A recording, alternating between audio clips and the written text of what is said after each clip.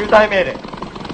情報によれば敵戦闘機約30核有20中華港に到着せ中隊は全力をもってと弾風及び内容付近上空において敵機を求めこれを撃墜せんと。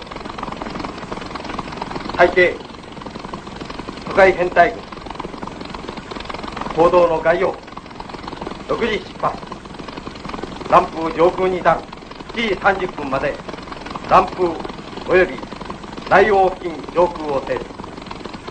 高度3000メートル以上。ですね。所属猛進は切符の優である。抜けがけの巧妙を焦らず。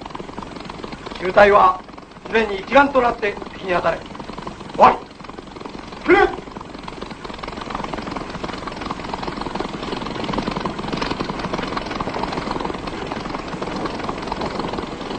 電話しといたの。